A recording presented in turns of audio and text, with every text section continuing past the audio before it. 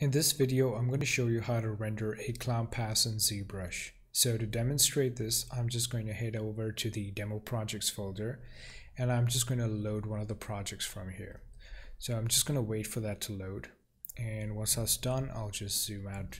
So go ahead and load in one of your projects and head on over to the material palette. Now under the standard materials, select flat color and ensure that you have the mRGB channel selected. Once you do so, head on over to the color tab and just knock that off to the side.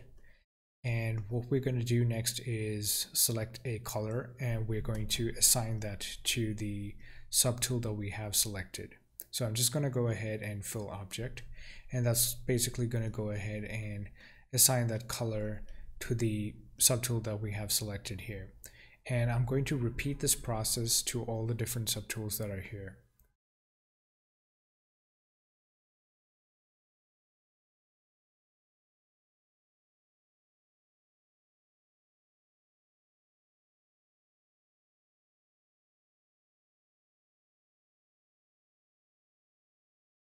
So once we've gone ahead and assigned different colors to our subtools here, head on over to the rendering menu and dock this off to the side.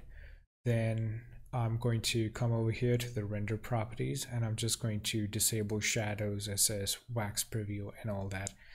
And then just hit render. So once the render is done, you can come over here to your render passes and you can now load this out as a PSD file and that's how you basically create a clown pass. So once you've rendered out your clown pass, you can bring that into Photoshop and with the help of the magic wand tool, you can basically select different portions of your model and you can make changes to it in post. So this is how you go about rendering a clown pass in ZBrush and that's it for this video. Thanks for watching.